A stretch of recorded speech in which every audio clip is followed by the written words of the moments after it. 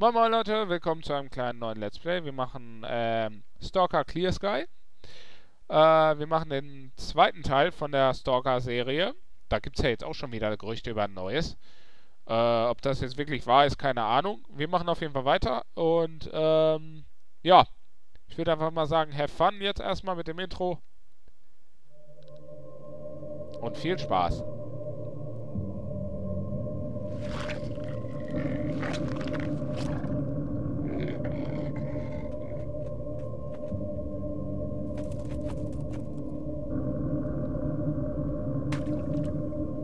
Genau zu sein, müssen wir uns keine Sorgen machen. Laut unserer Forschungsergebnisse wird es mindestens zwei Monate, vier Tage und sieben Stunden bis zur nächsten Emission dauern. Die Stärke wird 3 auf der Bergmann-Skala betragen. Das entspricht 2.13.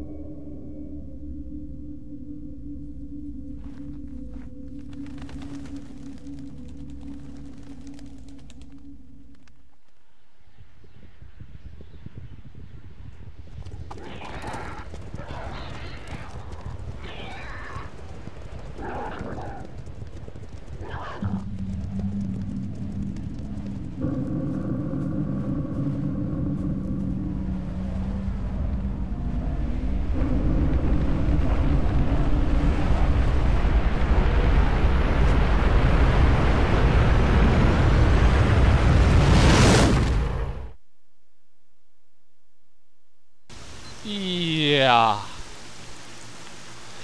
Epic Fail und so würde ich sagen, ne? Das war wohl doch eine Emission, mein Lieber. Ohne allzu sehr ins Detail zu gehen, ich habe niemals zuvor so etwas gesehen. Das Enzephalogramm zeigt zwar große Schäden am Nervensystem, aber die restlichen Indikatoren könnten einfach nicht besser sein. Das ist höchst erstaunlich. Vielleicht hat das etwas mit der Emission zu tun? Ja, mit Sicherheit. Auch wenn ich bis jetzt überhaupt keine vernünftige Erklärung für dieses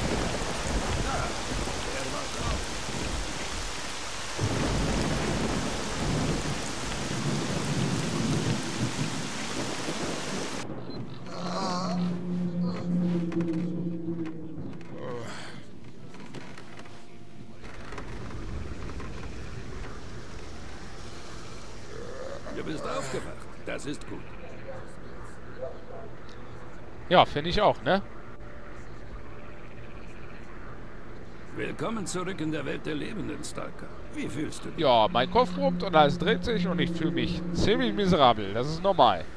Erinnerst du dich noch daran, was mit dir geschehen ist? Ich weiß, dass ich eine Expedition durch die Sümpfe geführt habe. Ein paar Wissenschaftler. Dann die Emission. Das war's. Wo bin ich? Bin ich im Himmel? Und warum sieht es so aus wie, an, wie die Sonne? Dir ist wohl zum Scherzen zumute, was? Immer doch. Das deutet darauf hin, dass du dich gut erholt hast. Mein Name ist Lebedev. Ich bin der Anführer dieser Gruppe und für jeden hier verantwortlich. Auch für dich, solange du dich hier aufhältst. Wir nennen uns Clear Sky und du befindest dich gerade in unserer Basis. Wir haben dich nach der Emission in den Sümpfen aufgegabelt. Da habe ich ja wohl Glück gehabt. Das bezweifle ich. Da gibt es drei bisher unerklärliche Tatsachen. Erstens, hast du die Emission überlebt. Zweitens, hat dich unsere Patrouille in den Sümpfen gefunden, die hauptsächlich aus endlosen Treibsand bestehen. Und drittens, wärst du beinahe von einer Horde Pseudohunden in Stücke gerissen worden, wenn unsere Jungs nicht rechtzeitig aufgetaucht wären. Solch eine Kette von Ereignissen kommt mir nicht vor wie einfaches Glück. Wie auch immer. Ich muss jetzt etwas anderes erledigen. Lass uns später weiterreden. Alles klar. Ja. Da hätten wir das in dem Sinne. Können wir uns bewegen.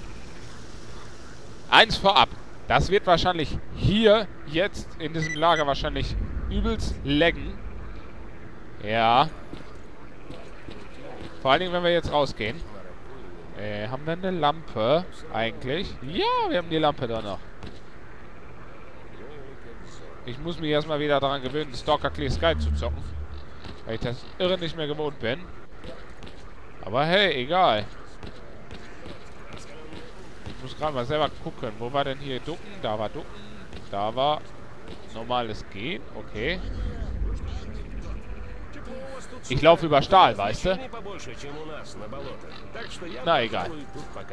Ich soll erstmal zu dem hier gehen. Wahrscheinlich soll ich mich mit irgendwelchen Sachen versorgen oder so. Willkommen zurück aus dem Jenseits. Hallo, Söldner. Während du außer Gefecht warst, bist du hier zu einer echten Legende geworden. Nicht einmal du selbst würdest einige der Gerüchte glauben, die ich so gehört habe. Ach, nicht? Aber egal. Dieser Drink für einen verdammten Glückspilz geht aufs Haus. Er wird dich entspannen und dann kannst du mir in aller Ruhe deine Geschichte erzählen. Ich platze vor Neugier. Es gibt nicht viel zu erzählen. Ich habe gerade eine Gruppe von Wissenschaftlern durch die Sümpfe geführt, als wir plötzlich von einer Mission überrascht wurden. Danach kann ich mich an nichts mehr erinnern. Ich bin hier erst auch wieder aufgewacht. Also erzähl du mir, was passiert ist. In Ordnung. Dann trinkst du und ich erzähle dir von diesem Ort. Hier war es mal recht ruhig. Wir hatten uns um die Wege gekümmert, die richtigen Orte erforscht und die Zufahrtswege unter Kontrolle. Natürlich sind die Sümpfe nicht gerade ein Ferienparadies, aber immer noch besser als so manch anderer Ort.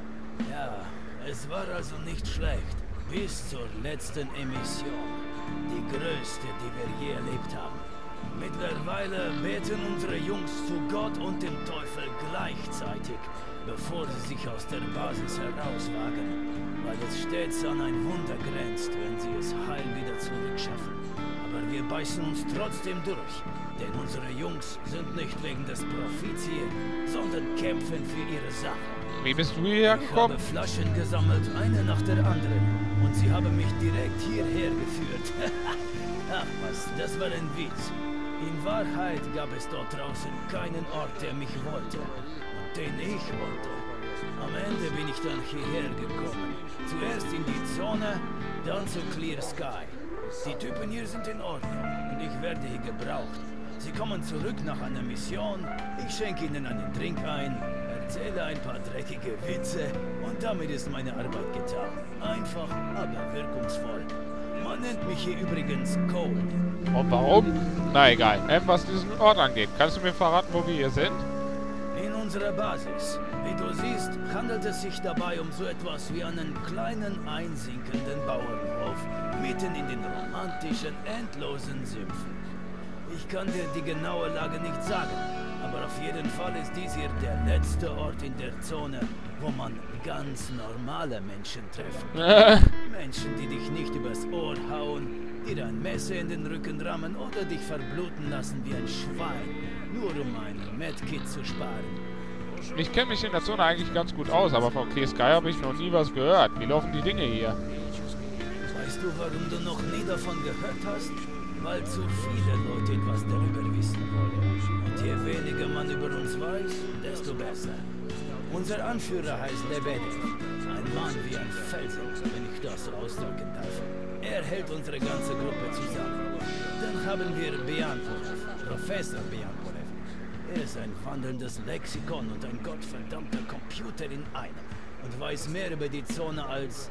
Naja, egal. Unser Techniker heißt Gray. Und er kann dir aus einer leeren Dose ein Gewehr samt Munition basteln. Bei ihm ist zwar die eine oder andere Schraube locker, aber Colt, sonst... halte den Söldner nicht mit deinen dreckigen. Witzen Er ist ein auf. Ich muss ihn Held, sehen. Aber nicht so... Nun, Bruder, wenn Lebedev sagt, dass er dich sehen muss, dann muss er dich wohl wirklich sehen.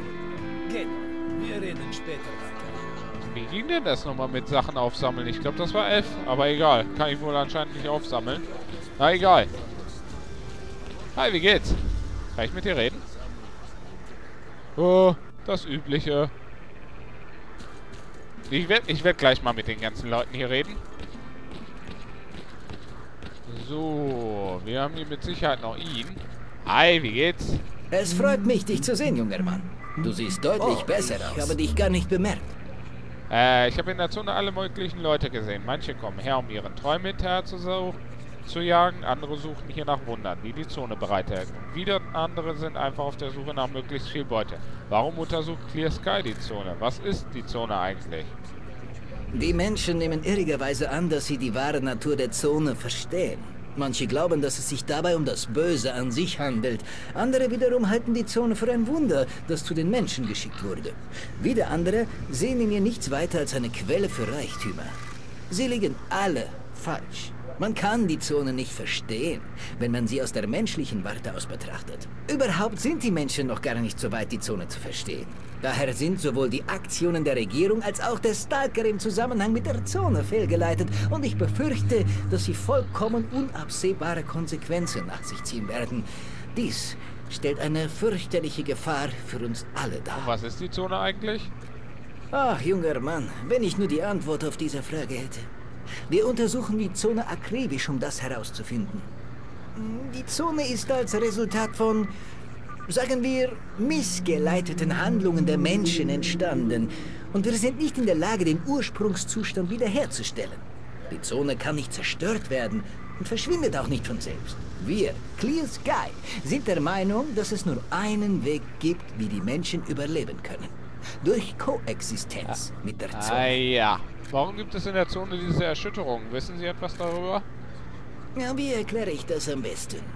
Lass es mich so ausdrücken. Jedes komplexe System in der Natur, und das schließt die Zone mit ein, strebt nach einem Gleichgewicht, solange keine destabilisierenden Kräfte von außen wirken. In den vergangenen Jahren war das hier der Fall. Die Zone war stabil und es gab keine größeren Abweichungen von der Norm. Und was ist jetzt? Wir haben eine gigantische Emission erlebt, die die Zone grundlegend verändert hat. Das System ist instabil geworden, wurde gestört. Die Zone erzeugt eine Emission nach der anderen, pumpt sich mit derart viel Energie auf, dass meine Messgeräte durchdrehen. Und sofern wir keinen Weg finden, diesen Vorgang rückgängig zu machen, wird eine Katastrophe eintreten, die den Unfall von 1986 wie eine Silvesterparty erscheinen lässt. Die wichtigste Lektion, die man aus dieser ganzen Sache ziehen muss, ist, dass diese Störung im System nicht natürlichen Ursprungs ist, sondern eindeutig von Menschen verursacht Ich wurde. wünschte, ich wüsste, wer dafür verantwortlich ist. Das versuchen wir herauszufinden. Vielleicht wird es uns dabei helfen, die Katastrophe zu verhindern, wenn wir wissen, wer das Gleichgewicht der Zone gestört die hat. Menschen das wieder in Ordnung bringen können? Da die Menschen dieses Chaos verursacht haben, können sie durchaus auch in der Lage sein, es wieder zu bereinigen. Auf jeden Fall hoffe ich das sehr. Und wie genau könnte das funktionieren? Na, Ich fürchte, auf diese Frage habe ich keine Antwort. Du solltest sie Lebedev stellen. Jojo, bis später. Hoffentlich werden meine Antworten uns allen helfen. Ähm, der ist unten, glaube ich, ne? Jo. Aber mit dem kann ich sowieso nicht reden, von daher gehen wir einfach mal zu ihm hier. Hi, wie geht's? Warte, ich gehe erstmal dahin. Kuckuck. Jemand zu Hause? Können Sie hier irgendwas mitnehmen? Nicht? Oh, schade. Wäre ja auch zu schön gewesen. Na, egal. Gehen wir mal. Hi, wie geht's? Warst du an der frischen Luft? Du siehst auf jeden Fall besser aus. Ich werde dir die Lage schildern. Du befindest dich in der Basis von Clear Sky. Versuch nicht, dich daran zu erinnern, wer wir sind. Du hast noch nie von uns gehört. Und das mit gutem Grund. Unser Ziel ist die Erforschung der Zone. Wir sind der Meinung, dass die Zone erforscht und verstanden werden muss, damit die Menschheit weiß, womit sie es zu tun hat. Die Zone zu verstehen, ist der Schlüssel zur Koexistenz mit ihr. Denn die Zone ist ohne Zweifel das wundersamste Phänomen, mit dem es die Menschen bisher in ihrer gesamten Geschichte zu tun gehabt haben. Du hast doch einen an der Schüssel. Na egal, das haben sie ja eh alle. Von daher, warum versteckt ihr euch? Wie ich gesagt habe, wir sind Forscher.